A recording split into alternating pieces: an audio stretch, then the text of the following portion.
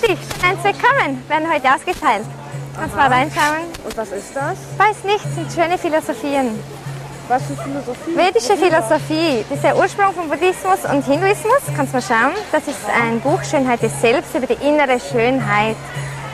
Ähm, das ist mehr so auch Reinkarnation, Karma. Das ist mehr Yoga, Entspannen, Stress abbauen. Kann man in Yoga dieser habe ich nicht so mit. ja, aber ist gut, weißt du, in der heutigen Zeit, um sich zu entspannen.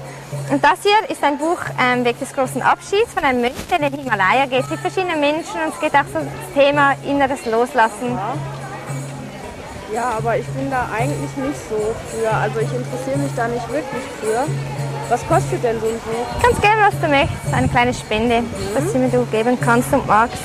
Aber weißt du, was heißt nicht interessieren? Du kommst immer mal an die Situation, dass du loslassen musst. Der Freund läuft weg, jemand stirbt. Auch deine schlechten Angewohnheiten, bist ja noch nicht perfekt, oder?